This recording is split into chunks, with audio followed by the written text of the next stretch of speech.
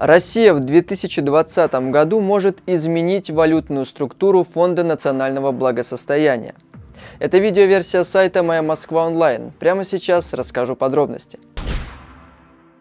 Reuters по сообщению источников в Минфине сообщает, что в следующем году может быть изменена структура валют Фонда национального благосостояния путем понижения доли доллара США и добавления новых резервных валют – Отмечается, что будут сближены валютные структуры резерва в России под управлением Центробанка и ФНБ.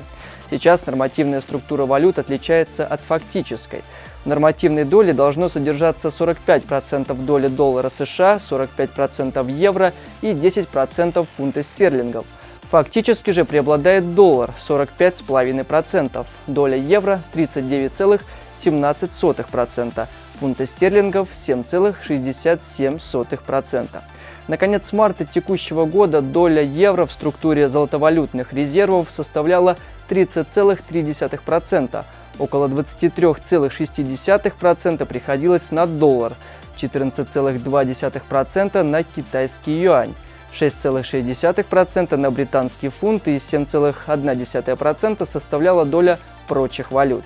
Предполагается, что Центральный банк России может увеличить закупки евро и снизить приобретение долларов США.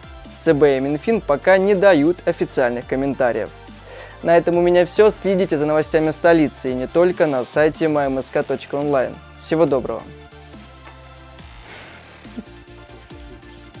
ЦРП.